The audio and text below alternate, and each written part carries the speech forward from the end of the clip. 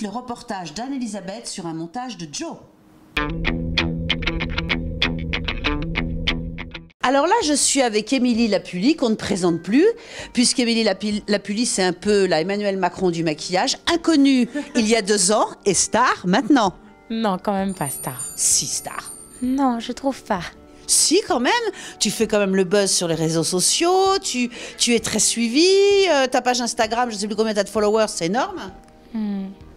On va dire que j'ai des gens qui me suivent. Bon, t'es modeste, t'es modeste. Alors là, tu as fait un beau maquillage sur Emma, et est-ce que tu pourrais nous expliquer un petit peu? Oui, je vais t'expliquer. Alors, euh, sur Emma, aujourd'hui, j'ai fait un maquillage assez accentué au niveau des yeux avec quelques paillettes. C'est la grande tendance, la paillette. Oui, c'est la grande tendance. Donc là, c'est un maquillage de mariage, un maquillage euh, de, de soir, un maquillage qui est, qui est destiné à, à quoi? Alors là, on va plutôt dire que c'est un maquillage de soir. Voilà. Euh, maquillage de soir, défilé. Défilé. Parce Voilà. qu'en plus, là, on est au mois de mai, donc c'est la période des communions, c'est la période, bientôt la période des mariages, donc ça peut aussi être une- un maquillage de mariage. Ah oui. Bon. Avec quelques modifications, oui, ça peut être un maquillage Ah, de qu'est-ce que- mariage. qu'est-ce que tu ferais comme modification? Euh, J'aurais retiré, par exemple, les paillettes euh, roses dans le coin. Ouais. J'aurais mis quelque chose de plus de d'irisé, mais moins fort. Moins fort, voilà, Voilà. pour que ça soit plus doux pour le mariage. Exactement. Et alors là, tu vas faire la bouche. La bouche aussi, c'est une grande tendance, un peu comme ta bouche, c'est-à-dire qu'elle est bicolore. Euh, là, je vais pas lui faire une bouche bicolore, je vais lui faire une bouche un peu nude. Oui. Parce que comme ses yeux sont déjà accentués, ça fera trop. Donc ça, c'est une grande tendance où on fait très fort les yeux ou très fort la bouche. Exactement. Voilà, on fait pas les deux. Donc toi, tu as fait léger sur les yeux. Voire pas du tout, il y a rien sur a mes rien sur yeux. tes yeux, y a mais rien. la bouche est très travaillée. Voilà, Bon, alors tu nous fais la bouche? On, on fait la bouche. On fait la bouche. Alors là, qu'est-ce que tu fais, Émilie? Tu enlèves un petit peu de mascara qui sur le côté. Voilà, et un petit peu de chute de paillettes. Oui. Donc on peaufine un petit peu les yeux. Et là, je vais passer à la bouche. Bon, les yeux, tu as mis aussi des... Des fossiles. Des fossiles. Ça, c'est très joli, le fossile. C'est très joli. Alors là, Émilie, qu'est-ce que tu vas faire? Là, je vais lui poser le gloss sur les lèvres. Donc là, très léger, tu lui poses juste le gloss. Juste le gloss, sans contour, sans rien du tout. Donc là, il y a un côté... Ah oui, parce que là, dis donc, ça c'est bien. C'est qu'on arrête un peu le côté mat. On arrête un peu le côté mat. Ah, je suis contente. On laisse respirer les lèvres. Ouais, ça c'est très joli aussi. c'est vrai que les lèvres qui brillent, c'est très beau. Oui. Ça, rapporte, ça apporte du volume aussi. Ouais. Ça apporte du volume, puis c'est un côté bouche gourmande, peut-être plus que le, le, le mat. Oui, un peu pailleté, irisé, Ouais. avec quelques nuances. Alors là, tu mets du gloss, parce que moi j'en avais un petit peu marre du mat, mais c'est ce que tu portes. Aujourd'hui, je porte du mat, effectivement, euh, pour le côté tenue. Tenue, Je sais que j'ai toute la journée, je mets quelque chose qui tient. qui tient. Voilà. Mais euh, c'est vrai que c'est maintenant la tendance, ça revient au gloss. Un petit peu. Ah. Les gens commencent à se détacher un peu du mat et retourner au gloss. Faut dire- Voilà. Voilà, donc là, toujours, c'est vrai, toujours mettre euh, un rouge à lèvres avec un pinceau. Non. Pour le- avec le pinceau, c'est pour plus de précision hum, et, Et de l'hygiène, et de l'hygiène. Mais on peut utiliser le, le petit pinceau en mousse euh, quand c'est le sien. Exactement. Alors Émilie, tu as un rouge à lèvres bicolore, toi Oui.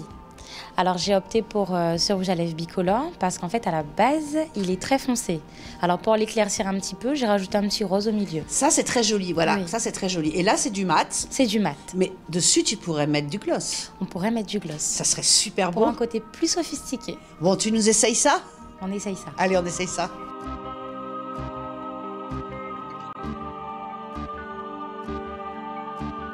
Ah ah ah, je voudrais bien voir ça. Ah, c'est eh, super, Émilie. En effet Valérie. Je suis un peu maquilleuse, tu vois. Oui j'ai vu ça. J'ai vu. Ça te fait des lèvres sublimes. C'est beau le gloss. Très beau.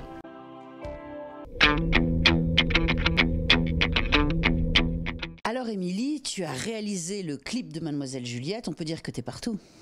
On peut pas dire que je suis partout, mais que je suis sollicitée pour pas, pas mal d'événements. Pas même. mal d'événements. Oui. hein. Alors justement, là, qu'est-ce que tu fais en ce moment? En ce moment, je fais beaucoup de prestations euh, maquillage, mariage, Ouais. euh, beaucoup d'essais mariés aussi. Ah oui, bien Parce sûr. est dans la période en ce On moment. est dans la période. Donc là, elles font un essai avant de. Avant le jour J. Et le jour J, comme ça, t'arrives et tu sais exactement, ce qu'elles veulent et ce, Oui. ce que tu vas leur faire. Et on perd moins de temps aussi. Tout à fait, tout à fait. Et alors, quel est ton parcours? Alors, euh, mon parcours, j'ai fait un bac général.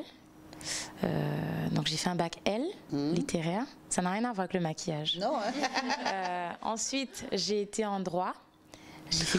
Ah oui Oui, j'ai fait... Ah, Maître. Sauvez-moi. J'ai fait trois mois en droit à Fouillol. Ouais. Et ensuite, j'ai dit j'en pouvais plus. euh, j'ai fait une formation De make-up? D'esthétique. D'esthétique, oui. Et ensuite, euh, Make-up. j'ai continué. Voilà. Make-up. Et j'ai continué euh, dans cette voie-là. Dans cette voie-là. Oui. Et ça fait combien de temps? Ça fait euh, trois ans maintenant. Ah oui, quand même Oui. Ah oui, tu devais beaucoup t'ennuyer dans ton... dans- Beaucoup, beaucoup. Beaucoup, beaucoup, beaucoup. Alors, euh, donc, donc pourquoi le make-up? Parce que d'un coup, tu as eu le coup de foudre pour, ce, pour cette formation-là, mais pourquoi ça t'est venu? Pourquoi ça m'est venu? Euh, Même moi, je ne sais pas. Parce que personne ne se maquille à la maison. Ah bon? Ma mère ne se maquille pas. Ma sœur, elle se limite à un rouge à lèvres, euh, à ses sourcils. Et moi, je, Et tu te maquillais toujours? Tu t'étais maquillée de... tu- Non, tu te maquillais pas non plus euh, j'ai commencé avec un petit crayon sous les yeux, Oui. euh, un petit gloss, et après j'ai découvert YouTube.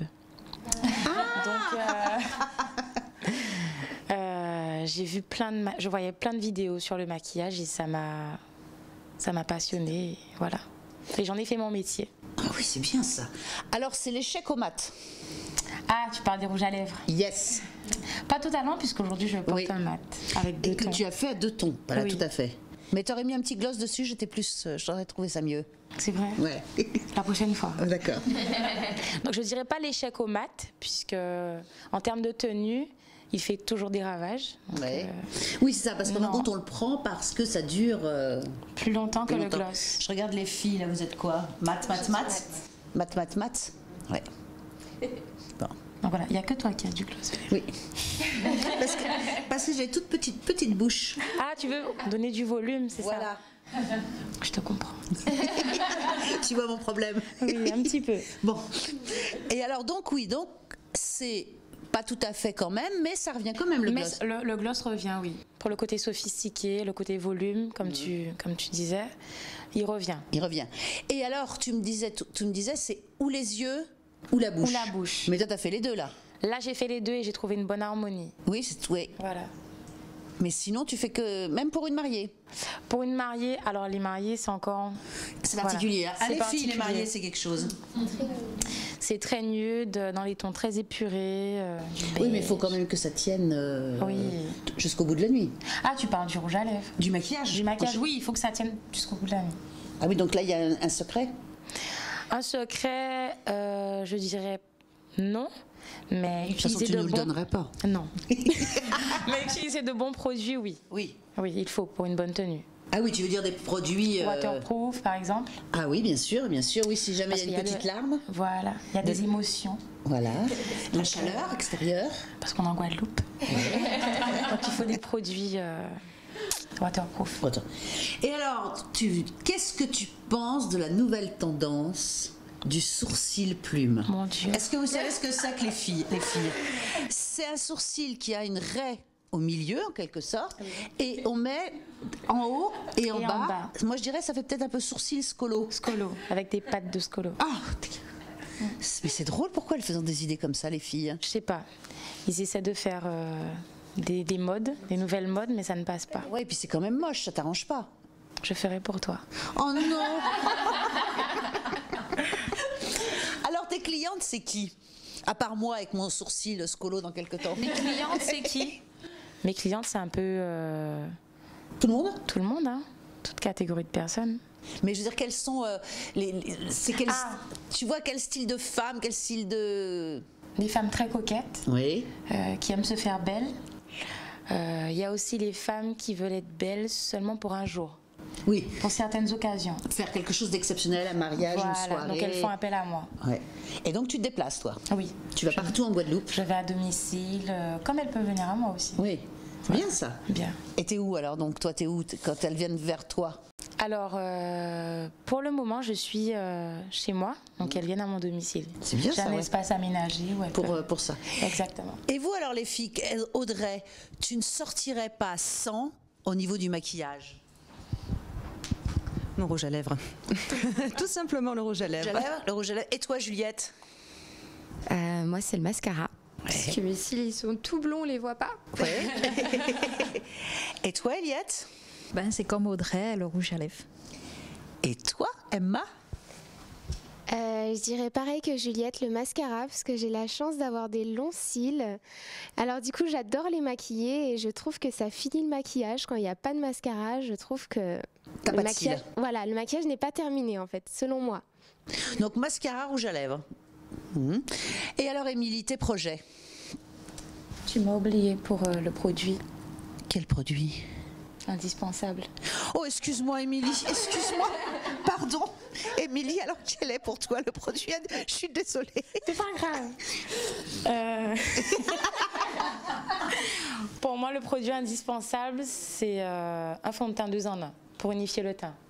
Tu veux dire, tu mets rien d'autre qu'un fond de teint Comme ça, tu as, une- t'as Voilà. une belle peau, tu sors. Oui. Ouais, mais si t'as pas de, récit, si t'as pas de rouge à lèvres. Non, pour moi, c'est mon produit indispensable. C'est vrai? Oui. Un fond de teint deux en un. Oui. Je dirais qu'elle a pas tort parce que le maquillage, quand le teint il est pas fait, c'est pas un vrai maquillage. Même en portant un rouge à lèvres, si le teint n'est pas fait, Mais qu'est-ce que t'appelles un un fond de teint deux en un? Euh, c'est un fond de teint euh, avec une poudre intégrée. Donc, on n'a pas besoin de poudre. Vous connaissez ça, les filles? Oui. Voilà. Elle a raison. Elle a raison euh, quand même, hein, euh, Émilie, puisque si euh, on a des tâches et le- que le teint n'est pas fait, Voilà. voilà quoi. Donc euh, c'est la professionnelle qui parle. D'accord, Émilie. Bon, bah écoute. voilà. Donc, le fond de teint deux en un, ok. Et alors maintenant, je vais te demander tes projets. Mes projets. Alors, j'ai des choses à venir. Bon, je peux pas en parler maintenant. Ah non, faut, il faut Voilà. jamais en parler quand. Voilà. voilà. Mais c'est des bons trucs? Oui, Ah. c'est du positif. C'est du positif. Oui. Bon, de toute façon, tu fais toujours les clips, les émissions de télé, Bien sûr, les choses les comme ça. tournages. Mais tu as une super, euh, un super projet. Oui. Ah, bon, dis-nous un petit truc qui ne soit pas ton super projet, mais autre chose. Qu'est-ce que tu veux faire? Tu veux continuer dans les clips, continuer Oui, toujours dans la même, sur la même voie. sur la même voie, ouais. Voilà. Et euh, Parce que tu travailles avec beaucoup de photographes. oui, un petit peu, je- j'en connais un petit peu ici. Oui. Ah oui, quand même, je vois bien souvent Make-up Artist, Émilie, oui, je vois souvent, moi. Oui. Voilà, j'aimerais voyager Ah, t'as raison, t'as et raison. aller et travailler ailleurs. Ah, t'es un petit peu comme la Eliette. Bah, euh, le voyage, c'est formateur. En plus de ça, euh, ça nous permet de rencontrer d'autres professionnels, de, de nouveaux produits, d'échanger et puis de faire, euh, de refaire Exact. La mode ou le monde, mais euh, de, de pouvoir échanger vraiment, c'est vraiment important pour euh, quand on est dans ce métier. Ah, dans un métier de façon de mode, de création, il faut pas rester coincé, coincé dans un endroit. Ben non, faut pas rester coincé parce que les techniques évoluent, tout évolue. Tout évolue, c'est ça, tout à fait. Bon, j'espère quand même que tu seras là pour le salon du mariage, le salon de la beauté l'année prochaine. J'espère aussi. Ah oui Bah oui. Ah bah oui, t'as intérêt, hein Eh ben merci, Émilie. Merci Valérie. Alors, Eliette le Superbe nous présente un extrait de sa collection. Tout de suite, le reportage d'Anne-Elisabeth sur un montage de Joe. Alors là, c'est extraordinaire, Eliette, parce que, en fin de compte, tu vas nous montrer une nouvelle collection. Évidemment, ta collection. Tu as aussi de l'homme, parce que c'est à la fois, évidemment, du mariage, mais c'est évidemment aussi, ça peut être un sublime cadeau de fête des mères. Ça peut pour aller à une communion, pour aller à un baptême. Alors, euh, peux-tu nous expliquer un peu les nouvelles tendances de ta collection? Alors, euh, cette année, euh, je reviens au blanc, du, beaucoup de blanc, euh, voilà, et euh, la robe pastel aussi, beaucoup de rosé, de champagne. Donc, compte, c'est une tendance, Oui, comme disait tout à l'heure vraiment. Audrey, c'est vraiment une tendance, le pastel. Oui, oui, Quelque on de revient doux de doux, de, de romantique, De des voilà, exactement, exactement. Et alors, tu fais de l'homme, parce que l'homme, c'est important. Alors, je fais de l'homme, oui, mais aujourd'hui, on va parler de l'homme avec un autre créateur. Oui. un créateur qui, est, euh, qui fait euh, du sur-mesure, Zacometti. Il est basé à Paris et aujourd'hui, euh, ben, euh, en collaboration, euh, il est en exclusivité ici en Guadeloupe. Génial. Oui. Bon, et ben on va voir tout de suite notre bel homme. Alors c'est Jérémy, et, et donc là c'est quand même un costume, oui, moderne, rayé, Euh, Il y a des choses, il y a des plis, euh, Voilà. il y a des plis. C'est quelque chose. On voit les jolis plis là derrière, euh, derrière dans le dos. Alors. Montre-nous ça, Jérémy. C'est complètement quelque chose de nouveau. Ah oui, du Zacometti. Alors la marque de Zach Zacometti, c'est, ce sont les boutonnières. Derrière, au niveau de la fente, on a des boutonnières. Ça, à part- à- dès qu'on voit un costume avec Ah cette oui, marque, c'est du Zacometti. La coupe très ajustée. euh, vraiment, Oui, c'est très- c'est très droit. Très droit, très slim. euh, et puis euh, un port euh, très, très contemporain, Contemporain. très exact Très mode. très mode, euh, la poche un peu au niveau de la taille un Ah peu oui, plus rehaussée, haute, voilà. La voilà. poche est très haute. Vas-y, montre-nous, euh, Jérémy. C'est-à-dire, montre à la caméra. C'est-à-dire que oui, la poche, la poche est très Voilà, haute. Ça, voilà. drôle, oui, elle est pas exact, basse. Ah oui. exact. Donc euh, voilà, la marque Zacometti, c'est euh, comme je vous disais tout à l'heure, je te disais tout à l'heure, c'est un, un- un créateur Ouais. que j'ai rencontré euh, sur nombreux voilà voyages. sur mes Fashion Week et puis euh, nous avons lié amitié mais aussi au niveau du travail donc euh, aujourd'hui euh, comme euh, euh, on est en collaboration avec mademoiselle chouette. Juliette donc euh, il est en exclusivité vraiment ici euh, pour euh, cette marque Ça, c'est génial. Et alors, donc, un homme Zacometti Yeah. va avec une femme. Eliette le superbe. Ah, Voilà. exact Exactement. C'est sûr qu'il a, il nous faut une femme Eliette le superbe. Donc là, c'est nous, une femme Eliette le superbe. C'est Emma qui nous présente une, une robe. Bon, ça c'est, ça c'est très très beau. Ça c'est la, la meilleure amie de la mariée. Oui, exact. Même à une communion. la copine, La euh, copine, alors euh, une soirée, euh, voilà. C'est la collection euh, avec Soir euh, chic. soir- exactement. Même aller, aller passer la fête des mères, tiens, avec une belle robe comme ça. Exactement, la Saint-Valentin, euh, invité autour de la mariée, vraiment la copine, le témoin, euh, voilà, la ça, sœur. très, joli. ça. Et là, c'est une couleur qui est étrange. Alors, c'est de l'oranger, mais euh, dans une matière, c'est de l'organza de soie. Ouais. avec euh, voilà surmonté euh, robe brodée d'appliques euh, en dentelle perlée et tout. Ça, c'est très très Voilà. joli. Bon, et maintenant, tu vas nous montrer tout de suite un autre, un homme et une Et femme. une femme. Alors là, Eliette, on va voir un autre style. Alors, c'est tout de suite avec Emma. Bon, bah ça, c'est le grand retour de la dentelle. Et ça, c'est vrai que ça peut être euh, une robe bah, pour un mariage Un civil. mariage civil euh, pour euh, ben, Une demoiselle. demoiselle, un témoin, le témoin. Ouais, ouais. euh, Et voilà. toujours notre fameux homme, Homme. avec une autre veste. de Zacometti. Oui. Toujours euh, la coupe, elle, est différente puisque elle est moins cintrée, moins ajustée, Oui. mais euh, toujours avec ses boutonnières. Oui, ça, c'est les boutonnières qui sont vraiment voilà. particulières. Oui. C'est la marque de C'est la fabrique. marque de fabrique de Zacometti. Ça, c'est très joli, la dentelle. Ah oui, ça, la très- dentelle toujours euh, d'actualité, euh, la dentelle euh, non perlée, là, la petite dentelle euh, classe, bohème et tout. Voilà.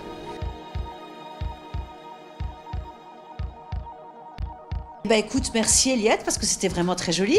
Merci Valérie, merci de m'avoir reçue à ton émission.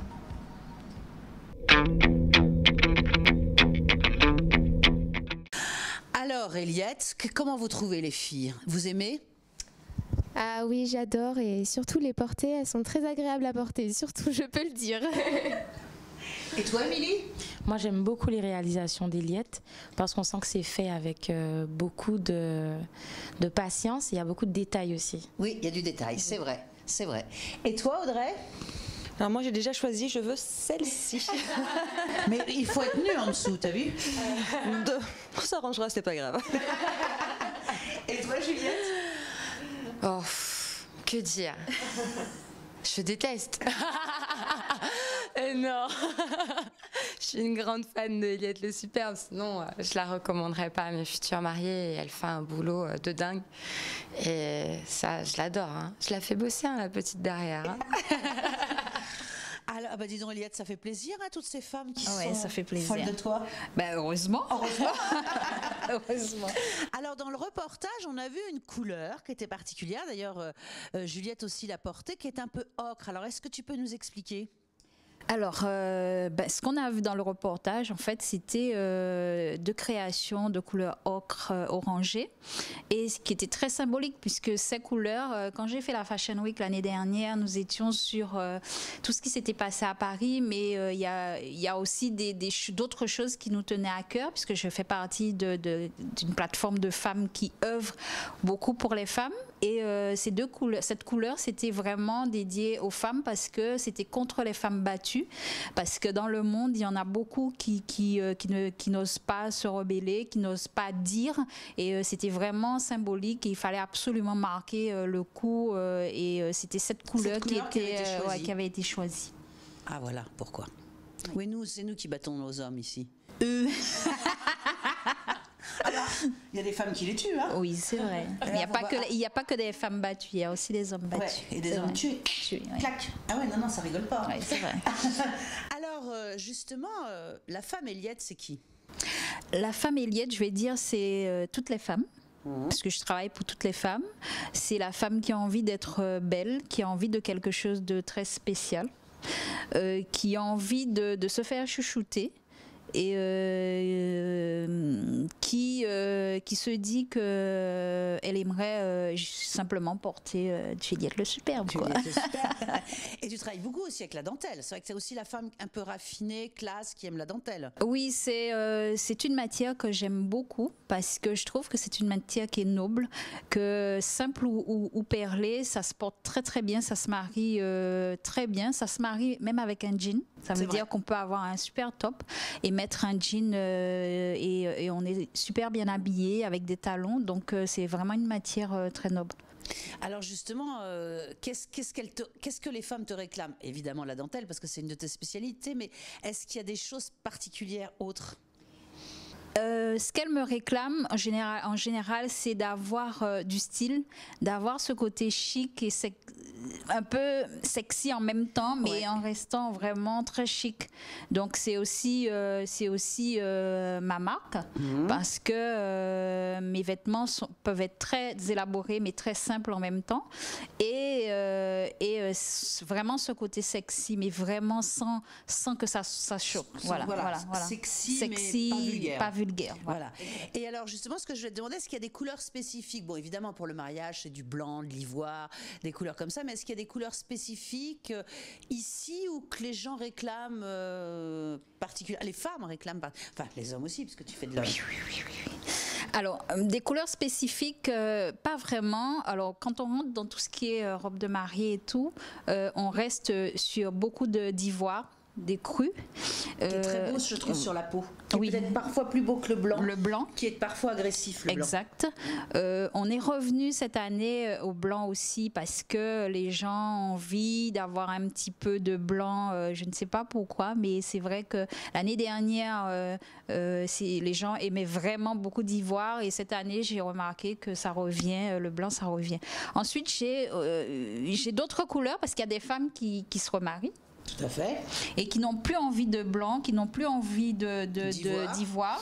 Et on, on rentre dans des couleurs un peu pastel, euh, du, du rosé. Euh, Ça, c'est très joli. Voilà. Des couleurs un peu, comme on dit, fanées. Voilà, nacré, beau, euh, du vert euh, nacré, du, ben, vraiment des couleurs pastel parce qu'elles se disent que bon, ben, j'ai eu du blanc, j'ai eu de l'ivoire et que mais ça m'a pas porté chance. et que j'aimerais euh, avoir euh, autre chose. Et puis deux en un parce qu'elles ont envie de porter leur robe après Ah oui. aussi. Aussi. Donc elles se disent bon ben euh, on va partir sur d'autres couleurs. D'autres couleurs. Voilà. Ouais. Et vous, les filles, blanc ou ivoire? Je trouve les deux magnifiques. Euh, après, c'est vrai que l'ivoire, euh, comme tu l'as dit tout à l'heure, ça, ça surprend moins, ça, ça se mélange mieux à la peau, je trouve. Mais euh, après, les deux, euh, je trouve ça magnifique quand même. Et toi, Émilie? Moi, j'aurais dit plutôt le blanc. Le blanc? Oui. Ah oui, Le blanc.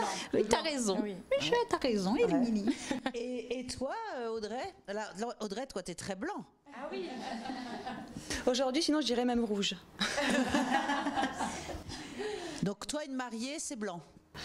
Euh, pas forcément, même euh, j'ai fait les mariages même en, quand elles sont en rouge, en noir. euh, j'aime beaucoup. J'aime c'est beaucoup.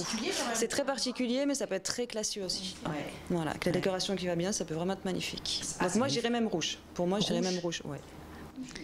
Et toi, euh, Moi, je suis dans les coutumes, hein. c'est carré carré, c'est le blanc. je suis hyper coutume mariage, donc euh, je suis tout à la lettre, sauf certains petits détails, mais c'est blanc. Et alors, Eliette, les tendances, les tendances dans la, dans la robe du soir?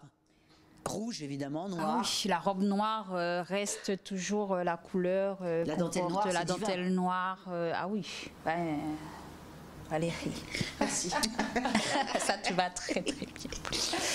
Euh, la robe noire, la robe rouge, euh, euh, du doré. Ah, ça, c'est très beau, là. oui. Du doré, euh, de l'argenté aussi. Les gens, ça dépend, mais euh, rentre aussi dans. Et puis après, on part sur des couleurs parce qu'après, ça dépend des teints, des, des, des, euh, de la peau. De la peau, tout à De- fait. parce que toutes les couleurs ne vont pas à tout le monde. Donc après, on cherche la couleur qu'on aimerait vraiment porter pour la soirée et le jour J. Voilà. Et alors, on a vu dans notre reportage, tu nous fais de l'homme. Alors, euh, Ça, c'est bien, ça. Alors, explique-nous un peu pourquoi. Et, et- et les filles ont trouvé aussi ça très beau parce que c'était des, c'est, c'est- c'est des costumes qui changent complètement. alors, je fais de l'homme. Euh, moi, je fais de l'homme, oui, mais là, euh, euh, euh, c'est- effectivement, c'est euh, de l'homme, mais c'est un autre créateur. Alors, euh, c'est ce créateur, c'est euh, Zacometti. Il est basé à Paris et aujourd'hui, euh, ben, euh, euh, on a vu qu'il est en exclusivité chez Mademoiselle Juliette et c'est un très très grand créateur. C'est un créateur que j'ai rencontré euh, lors de, de mes Fashion Week Euh, et finalement nous sommes devenus de vrais amis et euh, d'où aujourd'hui je promotionne un peu Sa dis- marque sa marque. Et, euh, et donc, il a la particularité de, de, de faire des, des costumes très jeunes. c'est ça. Est-ce que Voilà. Vous avez aimé les filles Vous avez les boutons derrière? Ah oui. C'est magnifique et c'est pas commun, vraiment. euh, C'était euh, c'était magnifique. Toi, Émilie aussi, tu as aimé? Oui, j'ai beaucoup aimé. Ça Il y a change. une hein. touche, euh, voilà, Voilà, la petite Oui, touche. c'est pas euh, le ouais. costume. classique. Voilà. Exact. Euh, donc sa petite touche, c'est euh, vraiment quand on regarde tout de suite, on sait que du Zacometti, ce sont les boutonnières euh, un peu de travers, les, la patte, Les voilà, poches un peu les hautes. poches hautes. euh, ça c'est sa nouvelle collection. Euh, au niveau euh, du costume, dans le dos, la fente, elle n'est pas euh, indéchirable, mais elle est carrément euh, Oui. ouverte avec des boutonnières à côté. Au niveau de, de la manche aussi. Donc ça, c'est sa marque de fabrique et c'est vrai que c'est un créateur qui, qui est bruit de talent et qui est pratiquement sur, qui est demandé partout, sur tous les Fashion Week et qui habille aussi euh, beaucoup de, de- de personnalités, euh, des footballeurs, euh, beaucoup de... Ah ouais? ouais, ouais, ouais, ouais, ouais, ouais, ouais. À Cannes, il a habillé beaucoup des, des acteurs et tout. Donc c'est aussi un Caraïbéen parce qu'il est, il, il vit à Paris, mais il est, il est d'Haïti.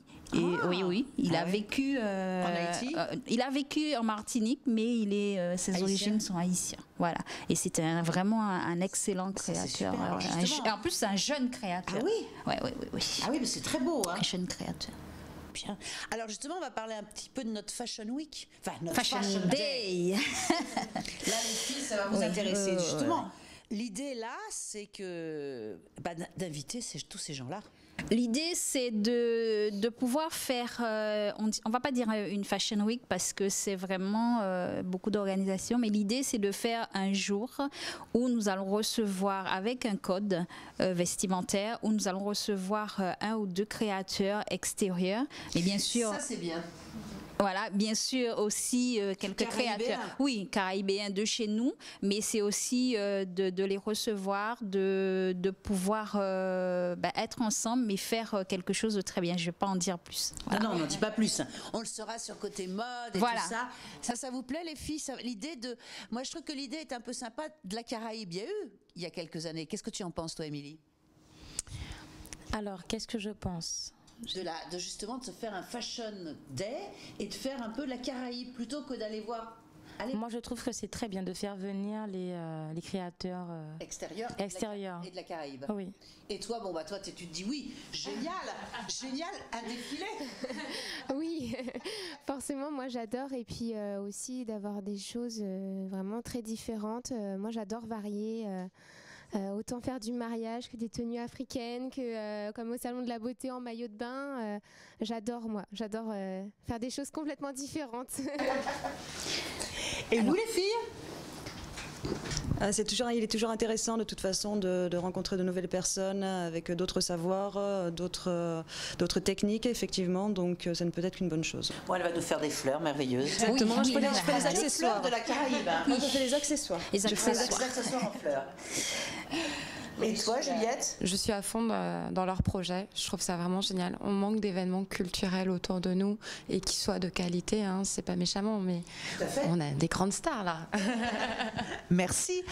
Alors, eh ben, je crois que c'est. Ah, tu voulais nous dire quelque chose Alors, euh, je voulais te dire justement que euh, l'idée c'était ça, mais juste une petite parenthèse, c'est que euh, on a cette page côté mode Tout à fait. qui euh, où euh, dans les quatre coins du monde, les gens est devenu une référence et d'où ben ce- ce- ce- C'est vrai que moi je Day, partage voilà. souvent parce que c'est vrai que là vous Oui. mettez toujours les trucs à la Ah mode, oui, les choses mode. Partout, vraiment dans les quatre coins du monde. Et c'est un peu pour ça qu'on s'est dit, pourquoi pas avec toi faire ce jour, ce, ce jour, parce que on pourrait, les gens pourraient vraiment voir en réalité. Et puis ce serait euh, le- la première aussi euh, de côté mode, puisqu'on n'a jamais fêté l'anniversaire de côté mode. Ouais, voilà. ouais. Et là, ça là, il a fait combien, il a combien Là, on, euh, ça fait déjà. euh, Ça fait bien 10 ans euh, Non, pas 10 ans. euh, 2000, 2012, 2012. Ah oui, ah ouais, 2012, ouais, ouais, ouais. ouais, ouais. Donc euh, voilà. Bien. Et c'est vrai que moi aussi, j'ai fait une nouvelle page. Donc ça, les filles, je vous, je vous dis, allez-y, qui s'appelle Nous les femmes. Et là, on peut mettre tout ce qu'on veut, mais des trucs de filles intéressants. Hein, pas des machins. Évidemment, pas de politique et toutes des choses comme ça. Ça, on déteste. Et pas de football. Surtout. Bon, bah, ça doit être l'heure merveilleuse de la pub, où tout est beau et rien ne coûte cher.